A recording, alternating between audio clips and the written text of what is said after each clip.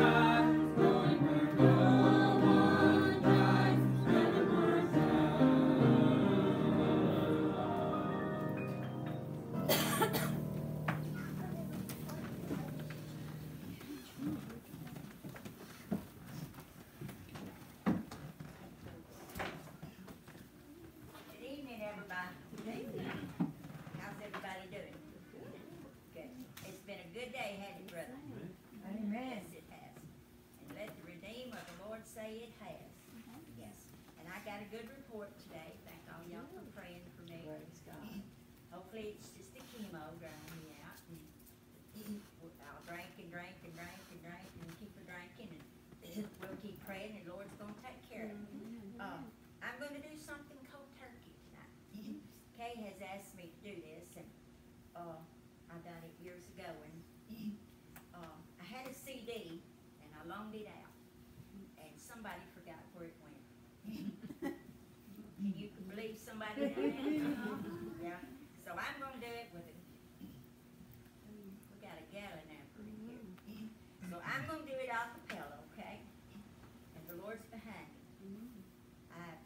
started living, found me a brand new life. He changed my directions, washed away all my strife. I'm a newborn believer. It's a holy and filling. The load's getting lighter. My days are getting brighter. I just started living. if I had hope only in this world below. I'd be covered with troubles. There'd be no place to go. But when I met Jesus and started believing, I got filled with his love. I got cleansed by his blood. I just started living. I just started living. Y'all come on. Found me a brand new life. It changed my directions. Washed away all my strife. I'm a newborn believer. It's a holy and feeling. My load's getting lighter. My days are getting brighter. I just started living. this was right after that I found found out that I had cancer. Now don't look at me funny, you're prophet of doom. See I'm not one bit discouraged, and I'm feeling no gloom. Cause I've got God's spirit, and it's totally feeling. I gave up on counting, got no time for doubting. Cause I just started living. Y'all help me. I just started living. I found me a brand new life. It changed my directions, washed away all my I'm a newborn believer. It's a holy feeling. The load's getting lighter, my days are getting brighter. I just started living. My load's getting lighter, my days are getting brighter. I just started living. Thank you, Lord. I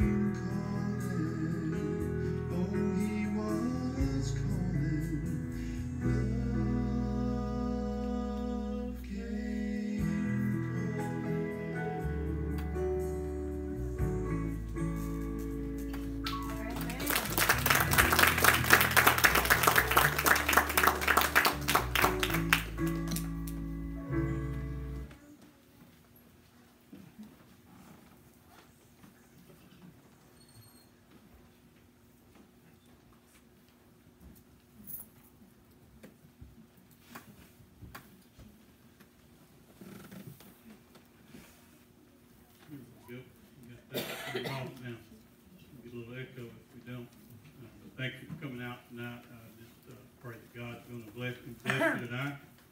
You know, you could have been a lot of places tonight, but you chose to came, to come, uh, and, and to fellowship and to hear God's word proclaimed, and thank you for that.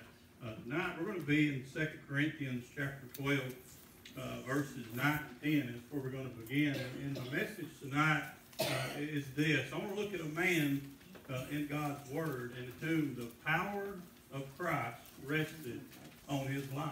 And, and uh, we as God's people, the power of Christ can rest upon our life as well, but we have to uh, make some changes. As we looked at the, you know, the first night there, we looked at, at Asa uh, and the changes that, that he made, the reformation that he made uh, to get the people's heart and mind focused back on God. And then last night we looked at a, uh, at a refuge as Christ is uh, our refuge. And then tonight, I want us to look and, and see uh, what it looks like. I want to see what, what, what a man's life looks like, that the power of Christ rests upon his life, uh, and to understand that this is uh, something that can happen in our life as well. Uh, but what it takes with us is surrender. It takes us saying uh, no to ourselves, saying yes to Christ, uh, and beginning to walk that out, beginning to obediently follow after what Jesus Christ has called us to. And it's a, uh, I say it all the time, it's one of the toughest things you will do. Why? Because we still live uh, in, in this sinful body, in this flesh that we have, uh, and it's a battle. Paul talks about it in, I think it's Galatians 5, uh, 16 and 17 there, uh, the spirit and the flesh, are, they're contrary the one to the other, so that we cannot do uh, the things that we would. So that, you know, there's a there's a warfare and, and, a, and a battle uh, going on in the life of a believer when they are seeking to follow after Jesus Christ. It, it's a fight, it's a it's a war. So uh, ju- just get ready. Uh, if, you want to begin to follow after Jesus with your whole heart, uh, it's going to be a tough thing, but here's something to look forward to. Uh, it is one of the most rewarding things that you will ever do uh, in your life. Not only in this life, uh, but in the life to come. Because when we uh, serve Him, when we surrender uh, ourselves to Him, and when we begin to walk in His ways and in His truths, what are we doing? We're laying up treasures in heaven because we've got our mind and our hearts off uh, of the things of this world, and we've got our minds on the things of God. And that's what He calls us to. Uh, over in Colossians, we looked at for just a minute last night.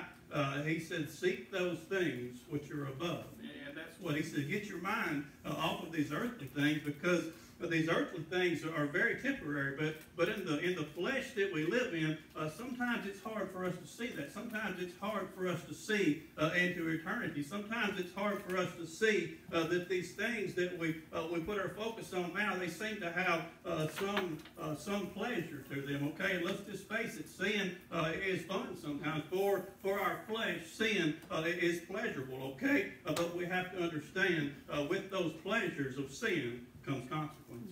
And, and we as God's people, we have to, to be mindful of that and to realize that there are consequences to those times when we, uh, as God's people, uh, get out of out of uh, out of the, the spirit and, begin to walk in the flesh. There's consequences in that. I'm gonna get to my message at some point tonight, but anyway, uh, you know, we, we have to go as pastors, as preachers. Uh, we have to go uh, as God gives us this stuff. So anyway, uh, let's let's get back to where I began here, Second Corinthians chapter 12 uh, verses 9 and 10. I want to read uh, those two verses and then uh, we're going to begin, okay? And they told me last night, Brother Jesse Massey said, uh, You're not preaching long enough, so uh, I, may, I may make up for it tonight, okay? So, uh, so you know, I'm just kidding. Just kidding. Uh, 2 Corinthians chapter 12, uh, verses 9. Or we're going to start in 7. Let's read 7 uh, through 10 so we can kind of dive in and get an understanding of what's happening here. And it says this way 2 Corinthians chapter 12 uh, verses 7 through 10. It says, Unless I should be exalted uh, above measure through the abundance of the revelation, there was given to me uh, a thorn in the flesh, the messenger of Satan, to buffet me, lest I should be exalted above measure. For this thing uh, I besought the Lord thrice, that it might depart from me. And he said unto me, My grace is sufficient for thee, my strength is made perfect in weakness. Most gladly uh, therefore will this is what I want us to see, that the power of Christ may rest upon me. He says, therefore, I take pleasure in my infirmities, in reproaches, in necessities, in persecutions, in distresses, for Christ's sake.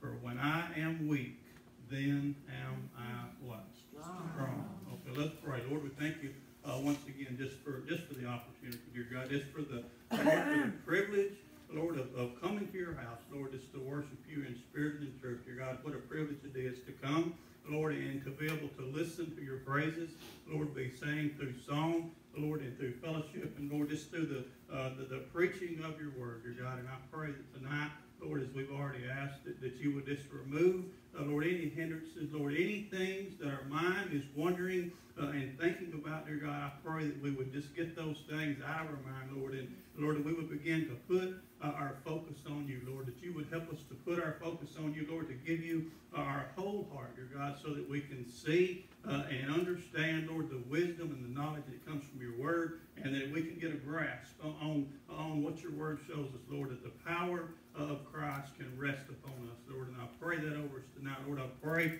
uh, dear God, that you would just use me, Lord, as your mouthpiece, dear God. I pray that you would just move me uh, out of the way, dear God. I pray that you would just speak to, speak uh, through me tonight, Lord, that I would be your servant. And Lord, I pray that everything we do here tonight, dear God, will be to bring honor and glory to you. And we ask these things in Jesus' name. Amen. Amen. All right, let's get back into where we started here. Uh, 2 Corinthians chapter 12. Uh, starting in verse 7 there, what's happened here uh, is God has revealed some things to Paul. He showed Paul some things, and this uh, th- this infirmity, this uh, uh, this thorn in the flesh that uh, that God has has put in the life of Paul, it is to keep him humble. It is to keep him from getting a little bit prideful. Okay, because God had shown things, some things to Paul that no one else has ever seen, and he and he put this thing there. He put this thorn there uh, to keep Paul humble because in uh, in our lives, in our in our flesh, listen, Paul was a man just like we are. He was flesh just like we are. Uh, and Paul, uh, when God showed him them, those things, the the things that He showed him, it could have very easily brought some pride up in Paul. It could have made him think that he uh, was something special. Okay, and Paul uh, was something special, but he was a servant of the Most High God, and, and Paul and God allowed this thing to be in the life of Paul to keep him humble. So I want to read it to you again, and we're going to read 9 and 10. So I want to, I want to jump off into it there. And here's what he said. And he said it to me. This is after uh, his prayer. He says, For this thing I besought the Lord thrice that it might depart from me. Listen, Paul, uh, in his flesh, the fleshly uh, side of this man, he didn't like the suffering that he was going through. How many of you like to suffer? No. Nobody likes to suffer. Our, our flesh uh, hates suffering because it's painful. It's painful, but here, and Paul, the, the greatest preacher apart from Jesus Christ, most likely, said here, in his, in his, he said, I asked God three times that he would take this thing from me. And here's what he said. Here, here was his answer. And he said unto me, My grace is sufficient for thee, for my strength is made perfect in weakness. What does he mean by that? He, he, this, is what, this is what Christ was telling him. He said, I am going to walk with you in this. Okay? I'm not going to take this from you, but I'm going to walk with you in this. I'm going to uh, strengthen you. I'm going to sustain you. And I'm going to give you what is necessary uh, to get you through this battle. I'm going to walk with you. I'm going to be right there with you. I'm going to uh, hold your hand. I'm going to be yoked. Remember last night we talked about the yoke? He said, I am going to be yoked right there beside you. I'm going to walk with you every step of the way, but I'm not going to take this thing from you, Paul.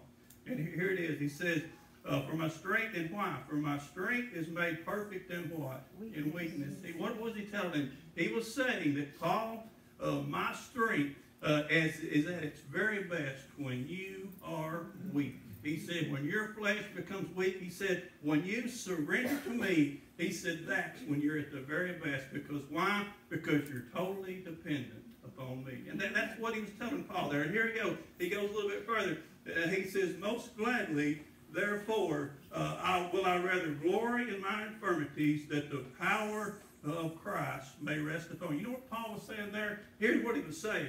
Okay, I'm, I'm going to break it uh, down to this simple plain old country English, okay? Here's what Paul was saying. He was saying this. He was saying, Lord, if a little bit of suffering in the flesh is what it takes for my heart to be completely focused on you, he said, then I'm good with that.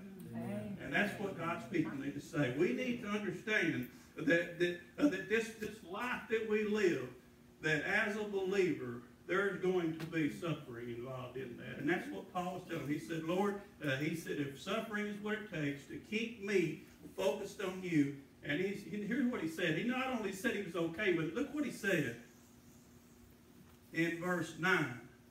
He said, Most gladly, therefore, will I rather glory in mine infirmities, that the power of Christ may rest upon me. What was he saying? He said, I'm going to glory in this fact that, that you uh, are satisfied with, with what I'm, you're, you're satisfied with me having this infirmity because of the fact that, that it causes the power of Christ to rest upon me. And then he says it this way.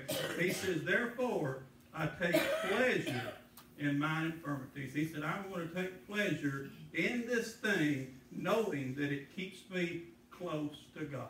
Okay, that's what he's saying there. He said, I take pleasure in mine infirmities, in reproaches, and necessities, and persecutions, and distresses for Christ's sake. For when I am weak, then am I strong. He said, when I am weak, I am at my very best. I am at my strongest. And here's what he means by that. He says, I am at the, at, at the, at the mercy of God. He says, I uh, am the most useful to God when I am at my weakest. That's what he was saying, and that's what we as God's people need to understand. That's what we need to uh, to get a grip on. That we, uh, in our flesh, when we uh, are at our weakest, when we uh, are fully and totally dependent on God, that's when we're the most use to Him. Because apart from that, we're not much use to. Why? Because our flesh is weak, uh, and when we're living in our flesh.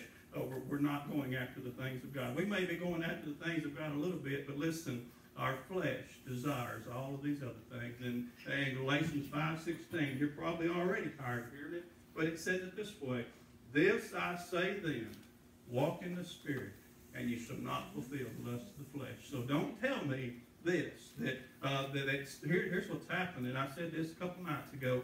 Satan has convinced God's people that they're poor, pitiful sinners, and they can't do nothing about it. That's a lie. That's a lie. That's a lie. Why? Because Galatians 5.16 says so. This I say then, walk in the Spirit, be led by the Spirit of God, and you will not fulfill the lust of the flesh. That puts Satan's lies to rest, okay? That tells me that no longer can we use the excuse that I'm a poor, pitiful sinner and I can't do nothing about it. That is a lie from the pits of hell. Okay, so so don't uh, don't don't go back and say, well, I, I'm just a poor, pitiful sinner and I can't do nothing about it. According to God's word, we can. Amen. According to God's word, uh, in John chapter 15, over there, uh, chapter 14, it talks about, uh, last night we talked about it when, when Jesus was going away. He said, I'm going to send a comforter. He said, I'm going to send uh, the Holy Spirit. And what is he going to do? He is going to be in you. He is going to abide with you. He is going to uh, enable you. He is going to strengthen you to be able to walk this out. How did Paul walk it out? He was dependent on Jesus Christ. He was dependent on the Holy Spirit. And what did he say? He said, when I am weak, that's when I am at my best. My, I'm, that's when I am most useful to God, when I am weak. And that's what God needs from us. We need to be weak. Okay? Uh, you, you, somebody tells you, in, in the world's eyes, someone that's weak, that they're they're of no use. They're uh, they're downtrodden. They're they're talked about. They're uh, they're picked on. All those things. Listen, God's word said, "When I am weak, when I, when I understand that in me dwells no good thing, that everything that I have uh, in Christ, that's, that's where I need to be. I need to be weak to myself. I need to, uh, to die to this flesh. I need to uh, deny myself, and I need to trust in Jesus Christ. That's what God has called us to do. So here, uh, and that, that's what the uh, what, what what is the what does the power of Christ?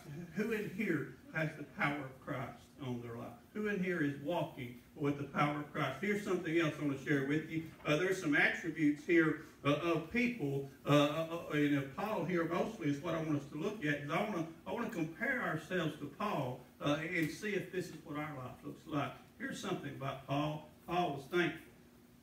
Paul was thankful. Look with me in uh, 2 Corinthians 12, verses 9 and 10 here. Look what he says. He was thankful for this thing, verses 9 and 10. Uh, he's in the last part. Most gladly, Therefore, will I rather glory in mine infirmities, that the power of Christ may rest upon me. We've already covered this, but it's worth covering again. Uh, he was thankful for this thing. He said, Therefore, I take pleasure in mine infirmities, and reproaches, and necessities, and persecutions, and distresses for Christ's sake.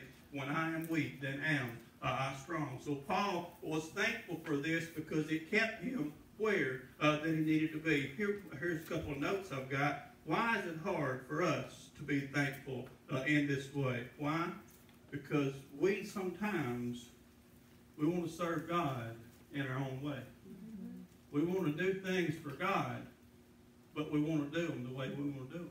Okay, but you know what that is? That's working for God. That's not working with God. There's a difference.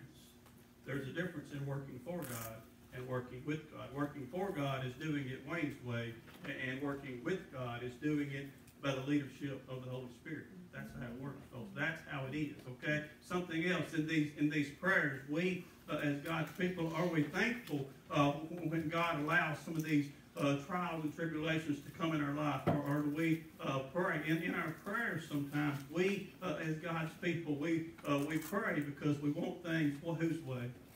We want things our way. Okay, we don't always want things God's way, but this is what Paul, uh, Paul's prayer uh, was to take this thing from from me. But when God said no, then Paul took that answer and was okay with it. He said, "I'm okay with that." He said, "I'm going. I'm not only going to be okay with it. I'm going to take pleasure uh, in it." And, and that's what Paul was doing here. Uh, and here's something else. Uh, Philippians chapter 4, verses 10 through 13. I want to share something with you there about Paul. Uh, and he was thankful, but something else he was uh, is his circumstances didn't affect uh, his joy. Philippians chapter 4, uh, verses 10 through 13. So we see uh, Paul here in this instance. Uh, here he was thankful uh, for the persecution that he was in, that was in, that was, God was allowing in his life. Okay, uh, but here in chapter four, uh, verses ten through thirteen, we're going to see here uh, how, how, that, how that Paul's uh, state that where he was at here, uh, it, it didn't give him discouraged. It didn't take his joy. Okay, here, here's what he says.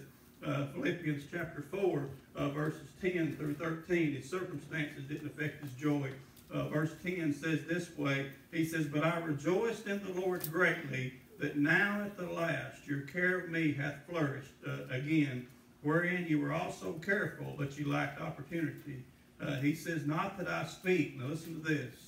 We're talking about Paul's circumstances not affecting his joy. Because what's the opposite of, of, of uh, here it is. He says, Not that I speak in respect of want. He says, For I have learned in whatsoever state I am, therewith to be what? Content. So if we're content, uh, then there's apparently some joy involved in that. So even Paul here, uh, in, in this tough time here, uh, I believe at this time he was in jail. Uh, and here he says, Not that I speak, uh, and, and what, what he was talking about here, uh, he was talking to the Philippians. They, uh, for some time there, uh, they hadn't ministered to him. They hadn't met some of the physical needs that, that he that he needed there. And, and he's telling them here, he says it this way. He says, "Not that I speak in respect of want."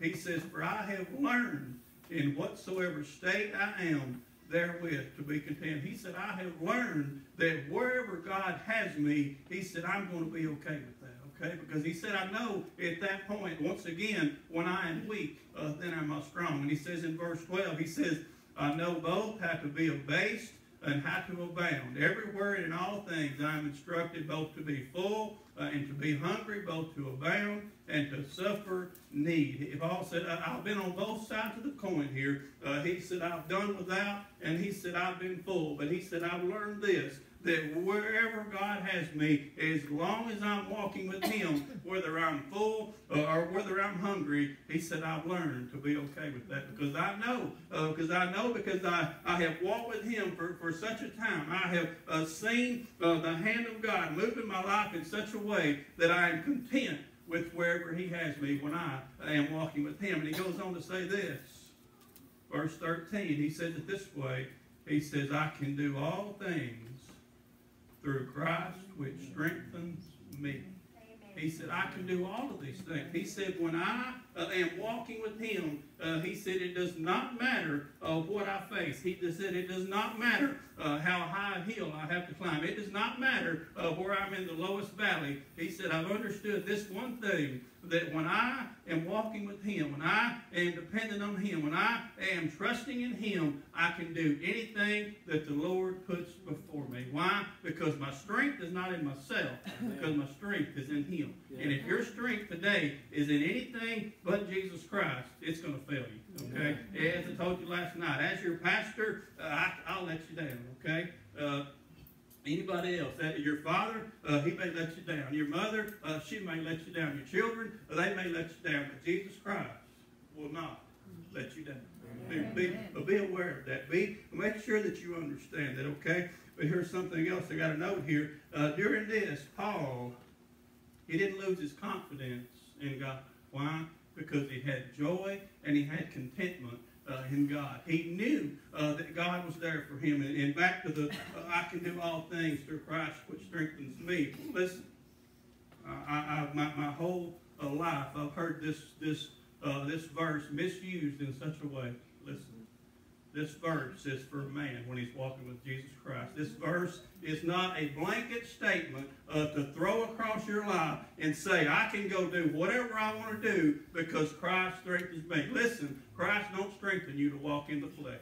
Okay? Right here, he says, I can do all things through Christ which strengthens me when I'm walking with Him, because that's what Paul was doing here. He was walking with uh, with Christ Jesus. So don't let somebody tell you uh, that you can go and you can chase your dreams and you can go and you can do whatever you want to, because that's not what God's Word is talking about. It's talking about when you are walking with Him. That's when Christ Jesus is strengthening you in this. You can't just go and chase whatever you want to and expect God to bless it, because God don't bless disobedience.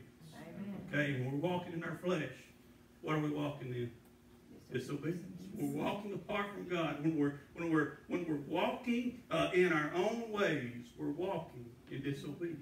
Don't allow that to happen. And I know there, there's going to be times we're gonna uh, we're gonna stumble uh, and we're gonna fall. But what do we do when that happens?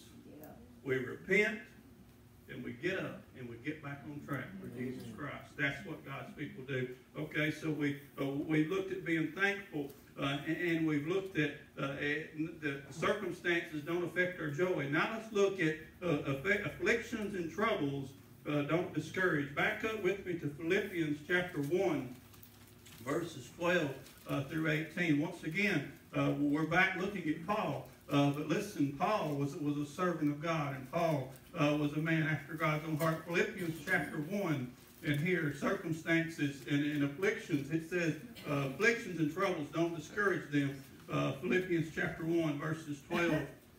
Sometimes I hate notes, but notes keep me on track, okay? Because sometimes I get off track.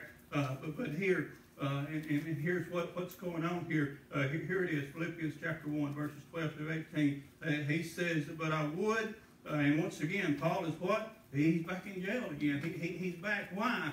Because he was following after God. And he went where God told him to do. And God had a plan for where Paul was going. And when Paul uh, walked with God, uh, he carried out God's plan. And he went wherever God called him to, whether it was in prison or wherever it was. Uh, Paul walked with the Lord Jesus. But here, he says it this way. He said, But I would that ye should understand, brethren, that the things which happened to me have fallen out rather unto the furtherance of the gospel. He said, so that my bonds in Christ are manifest in all the palace and in all other places. And, and what was he saying there? Uh, he said, because uh, I'm walking with God, because uh, they put me in jail, because uh, that they carried me to the palace before the king, uh, he said, God's word is being preached in places that it may have never been preached if God had not put me uh, under these circumstances and in this place at this time. He said, because of this, he said, even uh, because of man's uh, bad intentions, even because of man's uh, bad intentions toward me, uh, he said the gospel was preached in the palace. Okay?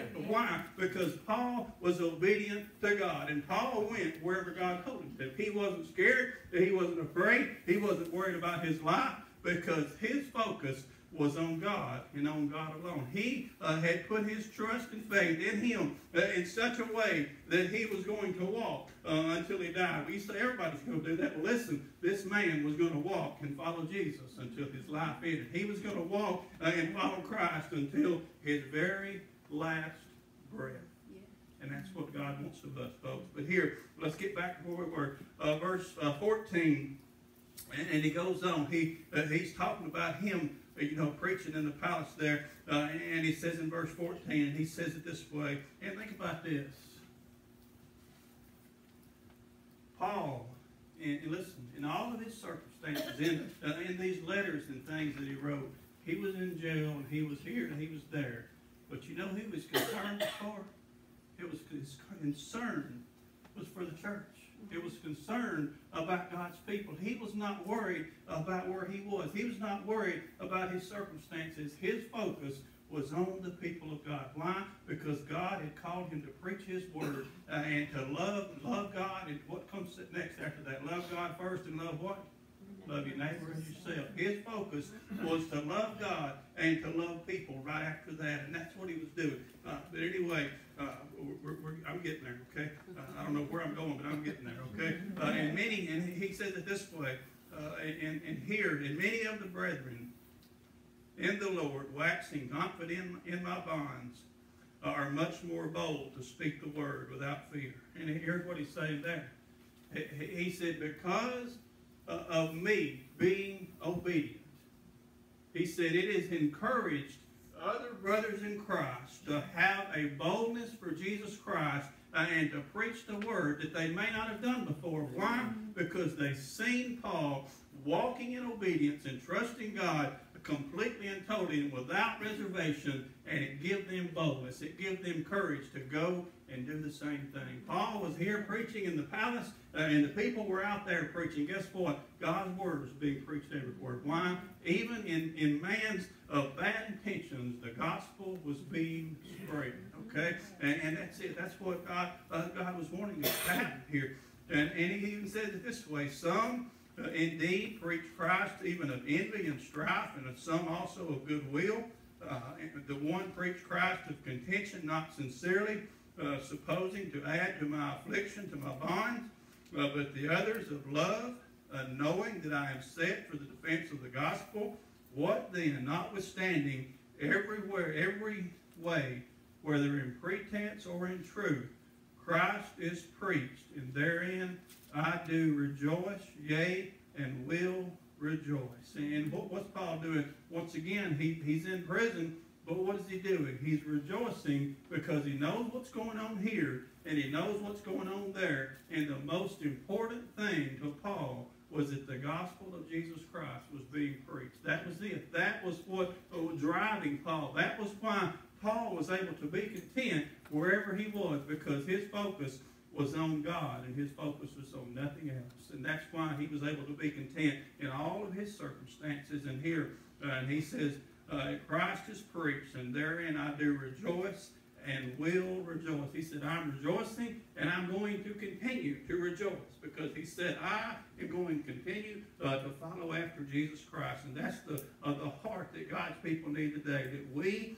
are going to follow after Jesus Christ wherever he leads us, wherever he takes us, and ever how long he wishes for us to stay there, okay?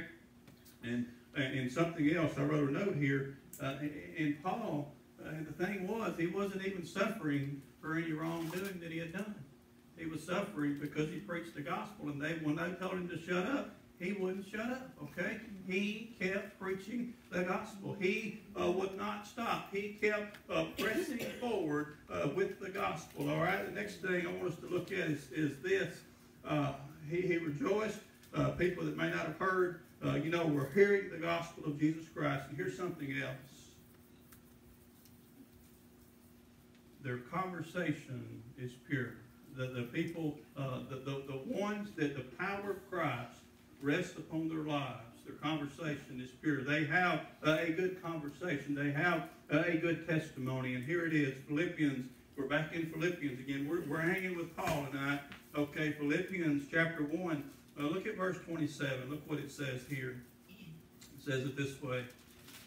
He says, only let your conversation be as it becometh the gospel of Christ, that whether I'll come and see you or else be absent, I may hear of your affairs, that you stand fast in one spirit with one mind, striving together for the faith of the gospel. And what was Paul telling them there? Uh, he said, if, if I'm if I'm able to come or if I'm not, he, said, this is what I want to hear. He said, let your conversation, let your testimony be uh, as it brings honor and glory to God. That's what he's telling them here. And, and he goes and he says, uh, that, that whether uh, I come and see you or else be absent, he said, I may hear of your affairs. He said, if I don't even get to come to you, uh, he, he, said, I have this confidence in you that I'm expecting to hear good things are going on there, uh, even when I'm not there, uh, but good things are going on with you because you've seen the power of Christ resting upon my life. You've seen me walking in obedience, and now you're doing the same thing. And he said, I'm expecting to hear good things from you, okay? And he says, and here's something else that he said, uh, that you stand fast in one spirit with one mind, striving together for the faith of the gospel. And look, listen what he says now. One spirit, one mind, striving what? Together. He said, you've got to stick together. He said, you've got to be of one mind. He said, you've got to be striving together not for a lot of different things. He, he said, This is what you're striving for.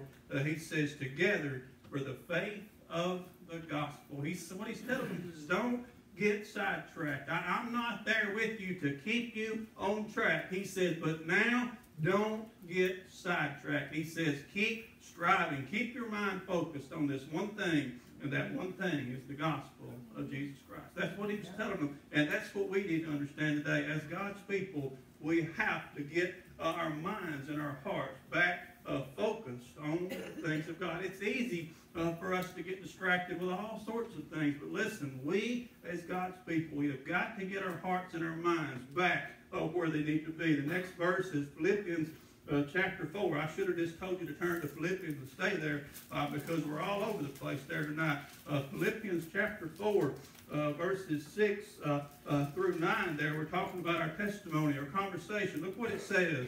and we talked a little bit earlier this week about the battle of our mind. Listen, if we can win the battle of our mind, if we can change our way of thinking, listen, we can change our way of acting. Okay? We can change the way we do things. Why? Because of this. Listen to this, and my family's heard this one too. But listen, it's important. And you got to understand. Independent thinking leads to independent what? Action.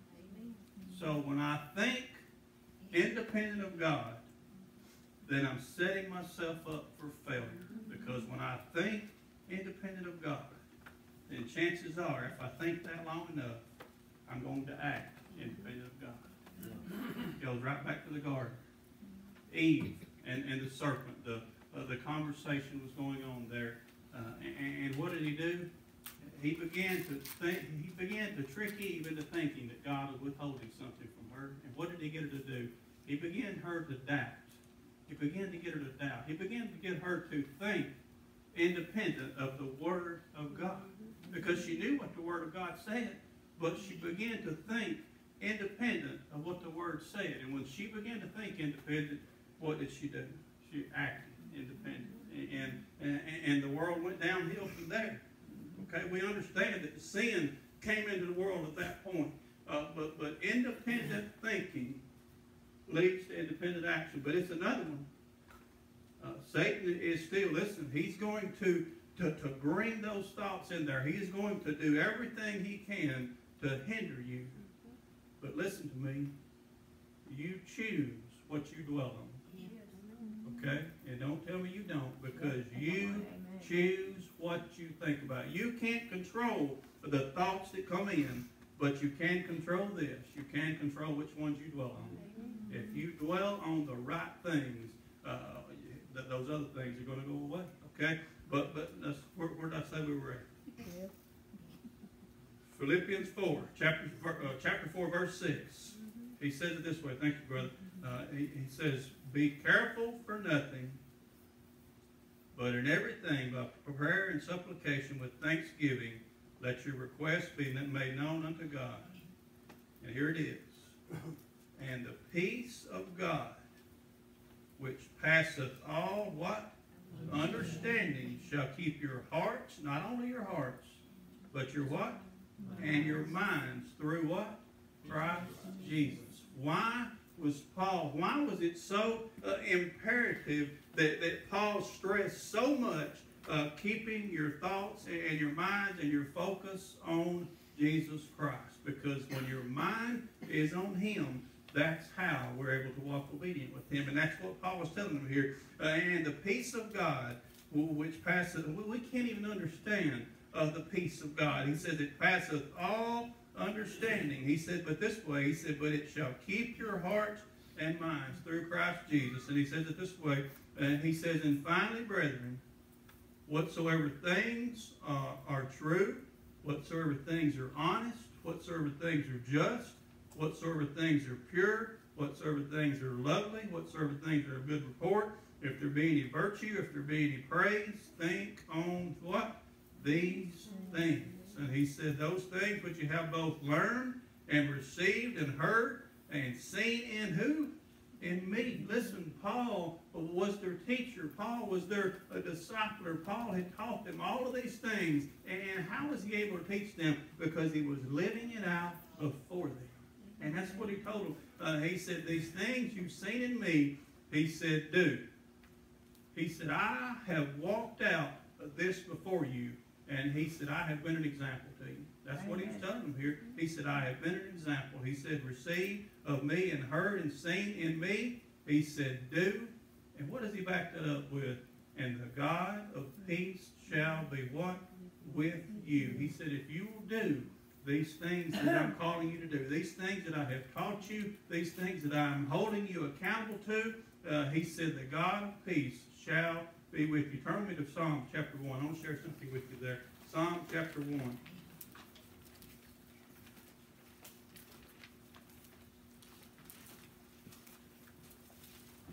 And, and this is this is about the word, and this is about the things that we dwell on.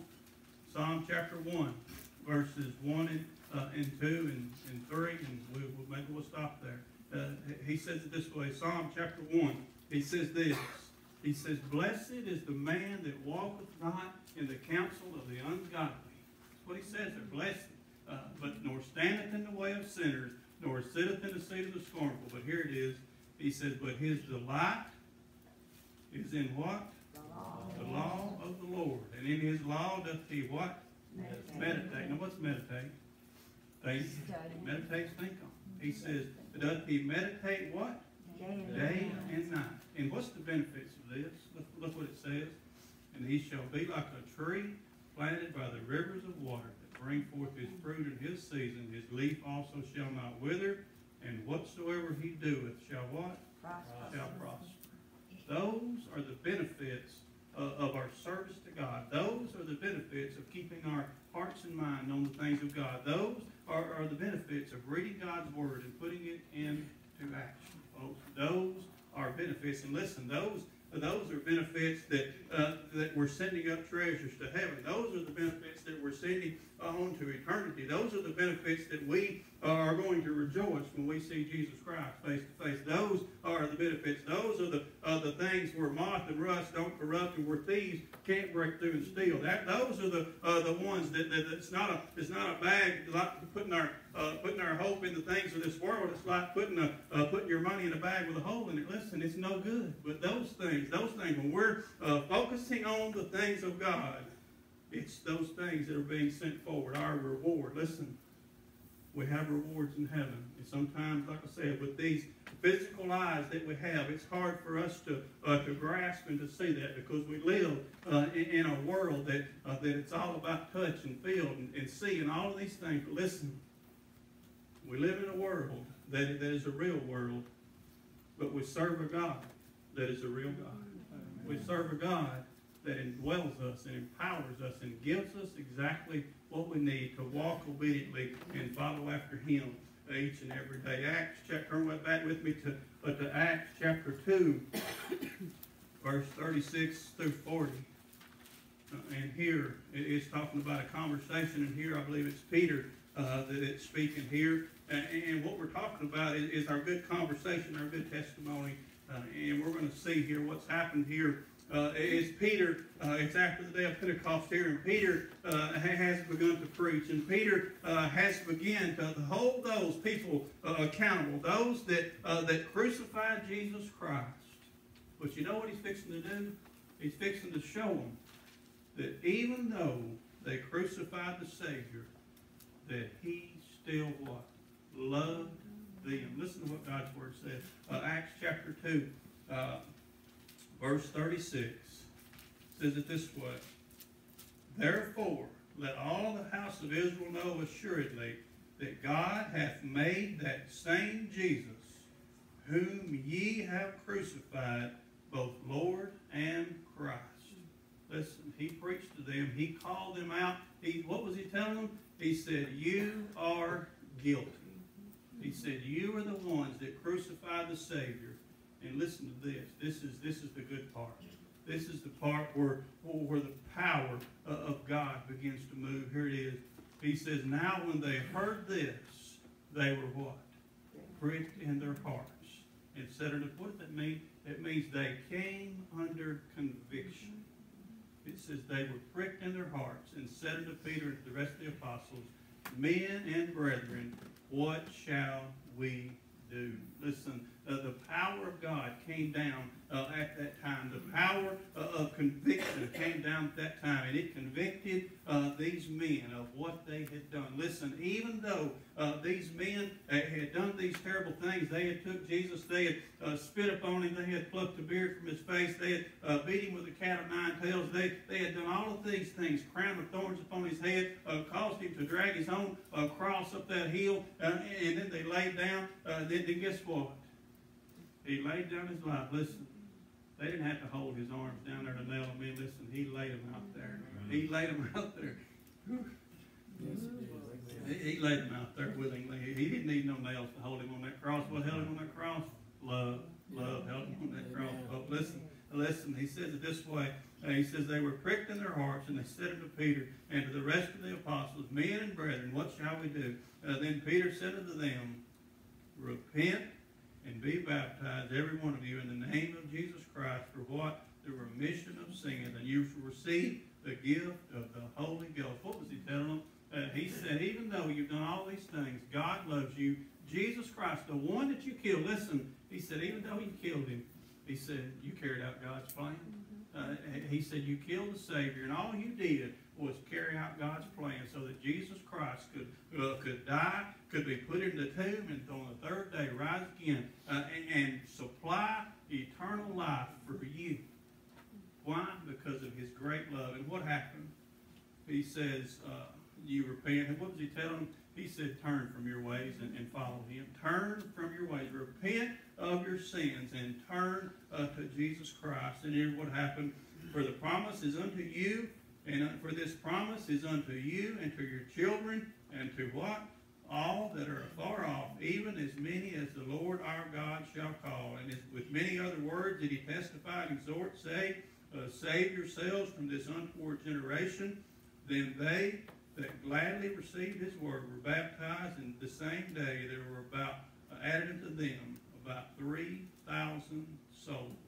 So there, uh, the, the, the power of God. And what am I saying here? Uh, the testimony. It, it talked over there uh, about having a, a good testimony, uh, the good conversation. And listen, Peter, with his conversation, when he began to uh, go back and read sometime uh, Acts chapter 2, getting down 236, listen, Peter laid it out there. Listen, he didn't sugarcoat it. He poured it on. Listen, and that's what God's people need to do. We need to tell people the truth. We got to quit sugarcoating it. As preachers and as pastors, don't sugarcoat it. Tell the truth. Tell what God's Word says. Hold people accountable. As pastors and preachers, that's our job.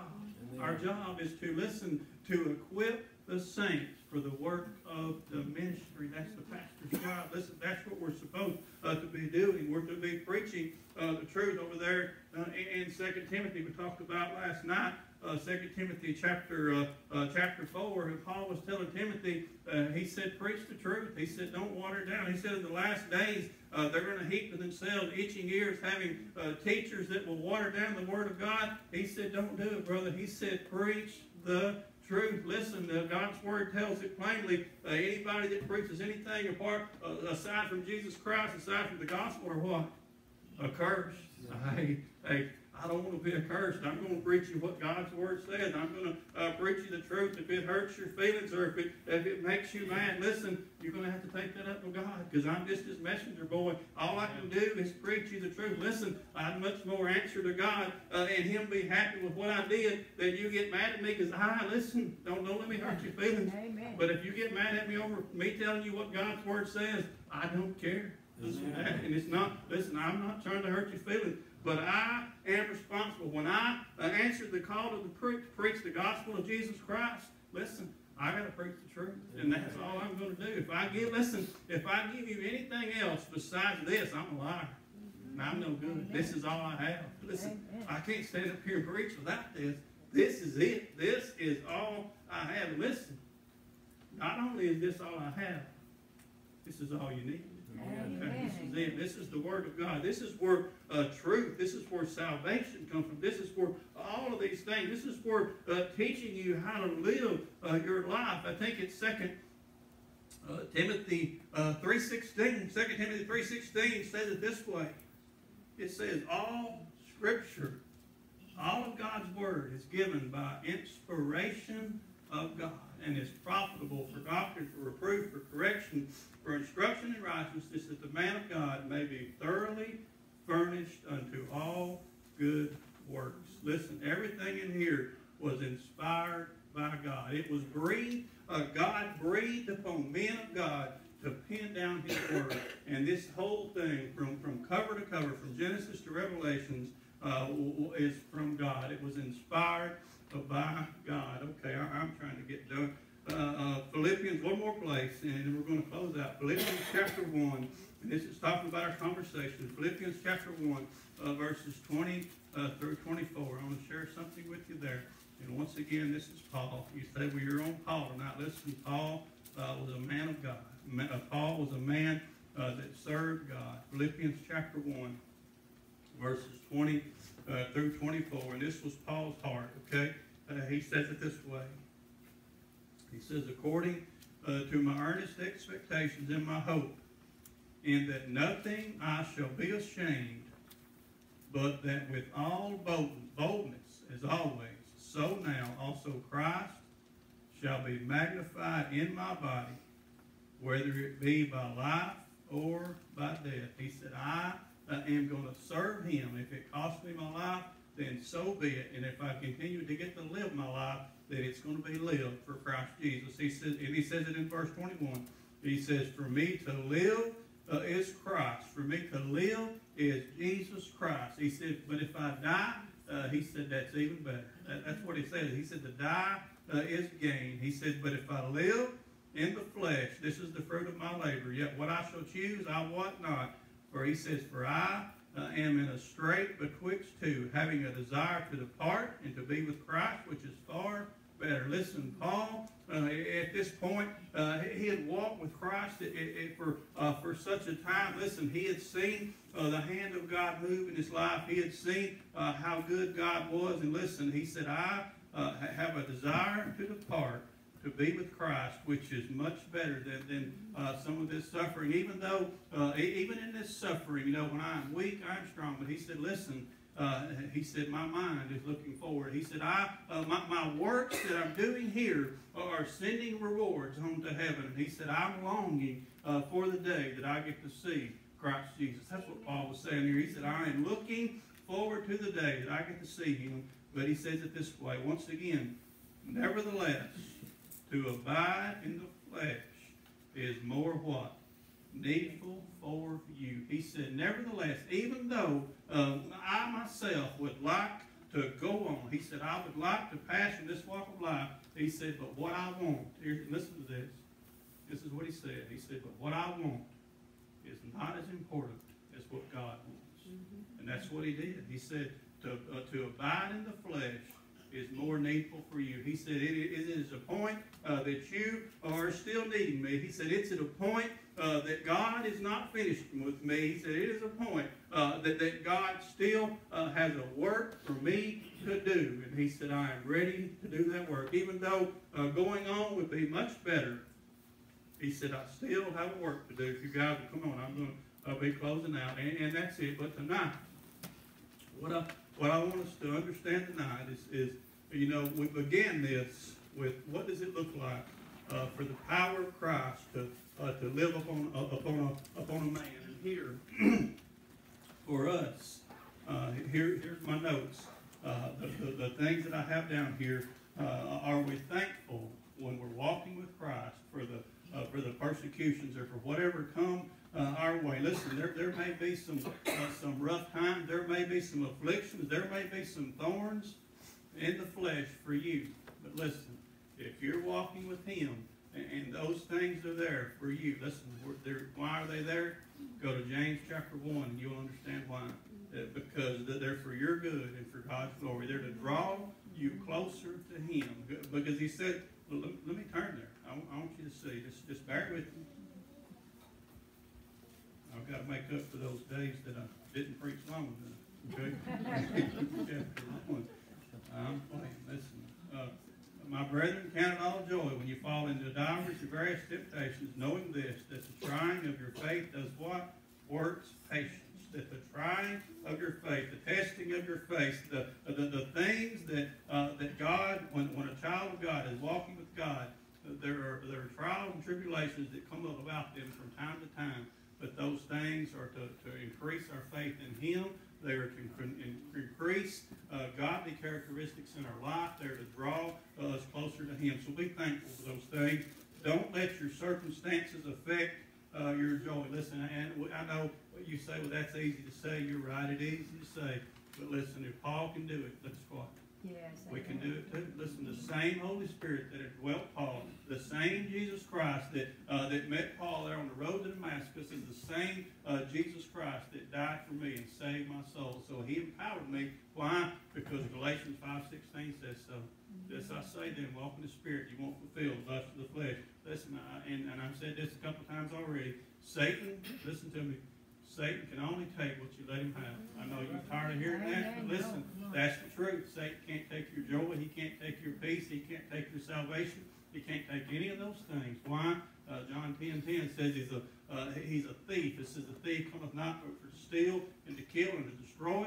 Jesus Christ said, but I came that you might have life and have it what? More abundantly. Listen, Christ overcame Satan. He's a defeated foe. We, as God's people, are victorious. Let's live like Okay, we are victorious. Uh, circumstances don't affect our joy. Afflictions and troubles don't let them discourage you. Listen, all of these things that, that I don't know if you wrote these down tonight or not, but listen, God will sustain you. He will supply you. He listen. He will be there as we talked about last night. He will yoke. He, he wants to take that yoke and yoke up beside you and walk there with you. Listen tonight. Jesus Christ loves you. He died for you. Listen, he died for you. Listen, he wants to save you. But understand one thing. He don't want to save you just to keep you out of hell. He wants to save you uh, for you to walk obediently with him and to bring honor and glory to him. Listen, salvation is not hell insurance. Salvation is a life lived for Jesus Christ.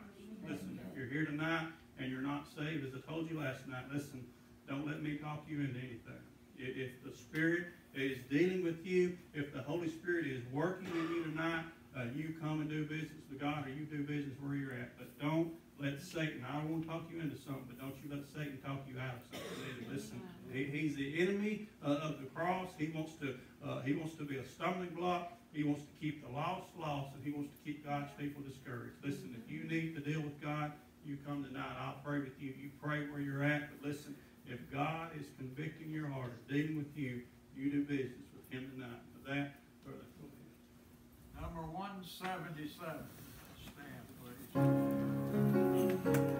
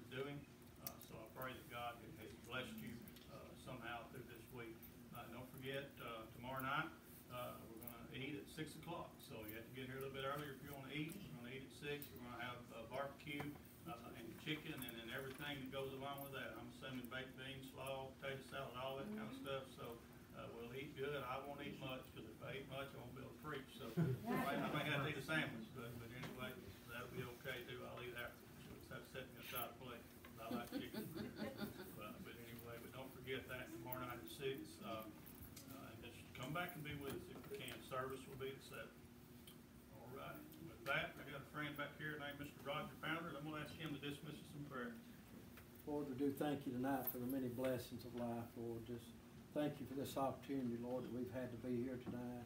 Thank you for your word, Lord. Help us, Lord, just to apply it to our lives tonight, God. And we ask all these things in Jesus' name. Amen. Amen.